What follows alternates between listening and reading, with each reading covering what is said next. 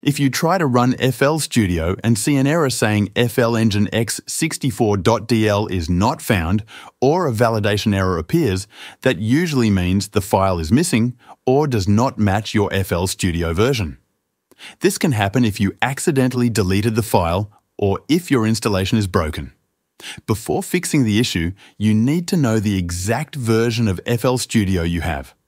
Start by opening the folder where FL Studio is installed. If you're not sure where that is, you can do a quick search online or check your program files. Inside the FL Studio folder, look for a folder called System. Open it, then go into the Tools folder. In this folder, find the Diagnostics folder and open it. Inside, you'll see the Diagnostics tool. Run it. Once it opens, look at the top right corner. You'll see the version number of your FL Studio. Write that version down, then close the tool. Now, open a web browser and search for FL Engine X 64.dll.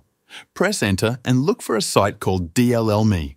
Open that site and wait for it to load. Once you're on the page, click on the Versions tab. Now look through the list of available versions.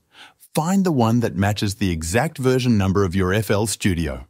Click the Select button next to it then solve the CAPTCHA if it asks you to.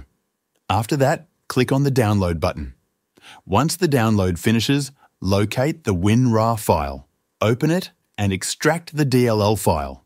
Now copy that file. Go back to the folder where FL Studio is installed and paste the DLL file into that folder. That's it. Now you can try running FL Studio again.